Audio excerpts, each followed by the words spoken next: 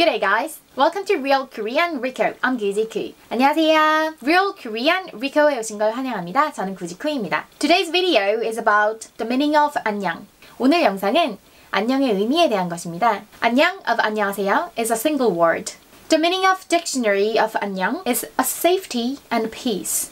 안녕은 실제로 한 단어예요. 안녕의 사전적 의미는 안전하고 태평한 것, 평화로운 것입니다.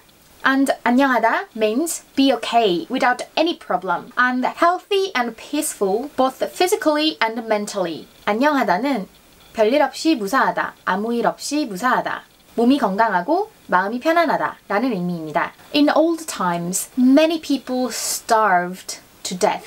And lots of people died from frequent foreign invasions and political changes. 아주 옛날에는 가난한 사람들이 굶어 죽는 일이 많았고 잦은 외국의 침입과 정치적인 변화들로 인해서 목숨이 위험한 날이 많았다고 해요. Then people asked, "Are you okay?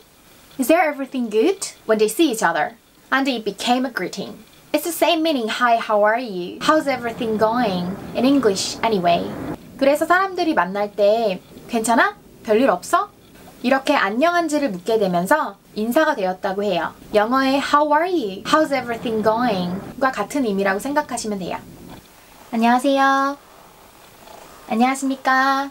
This is question type greeting because its actual meaning is to ask if you are okay. 안녕하십니다 is a standard. So question type 안녕하십니까 was been using as a greeting from the past. 이 인사가 괜찮은지를 묻는 말이기 때문에 의문문으로 되어 있어요. 안녕하십니다는 평서문이기 때문에 안녕하십니까? 라는 의문문으로 쓰여왔어요. It's a follow-up question. So it's used as it is, even though it became just a greeting expression. So it doesn't mean are you okay anymore like in the past. 지금은 옛날처럼 안녕을 묻는 것이 아니라 인사처럼 굳어져서 평사문으로 쓰이고 있지만 의문문 그대로 쓰이고 있어요. 안녕합니다. 안녕 못합니다. Have you heard about these expressions? Sounds an answer of the greeting. 안녕하다, 안녕 못하다. It makes sense, but it's used as a sarcasm, so it cannot be used as an answer of the greeting. 이 표현들은 비꼬는 형식으로 사용되기 때문에 안녕이라는 인사의 대답이 될 수는 없습니다.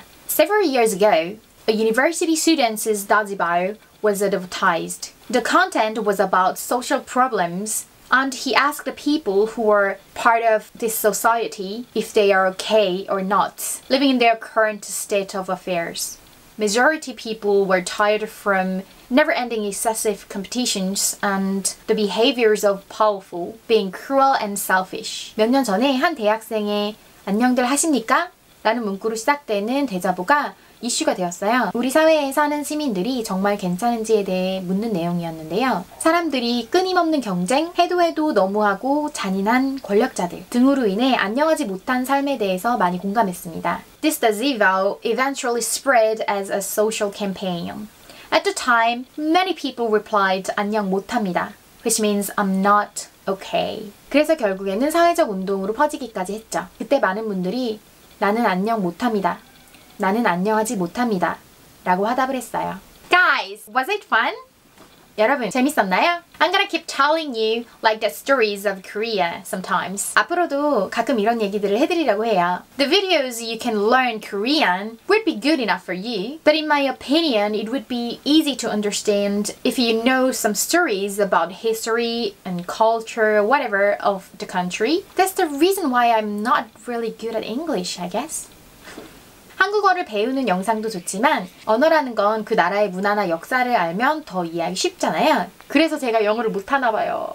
By the way, do you happen to have any Korean culture you want to know? or Korean expressions you want to learn, please feel free to ask me. 그건 그렇고 혹시 알고 싶은 한국 문화, 알고 싶은 한국어 표현이 있다면 주저하지 말고 저한테 질문하고 요청해 주세요. Alright, I'm gonna sign off. Please give me thumbs up right now and subscribe to my channel if you haven't done yet. Thanks for watching guys. I'll be right back soon. See you!